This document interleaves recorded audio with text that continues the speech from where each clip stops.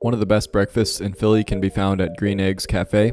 I normally try not to eat a lot of calories earlier in the day, so I rarely go out for breakfast, but being on a trip is a good excuse. We were feeling sweets, so we ordered the cinnamon bun French toast, the strawberry cream French toast, and the chocolate empanadas. Talk about aesthetics, but also a gut bomb. Every single one of these was absolutely magnificent, albeit heavy and super sweet. The syrups and the creams on top of the French toasts were to die for, and the empanadas were super crisp on the outside and had a nice rich chocolate filling on the inside. French toast really is a nice blank canvas for you to get creative, and this restaurant does it really well, but a lot of times when places focus on aesthetics like this, it doesn't taste super great, but this place is an exception. They do both pretty perfectly.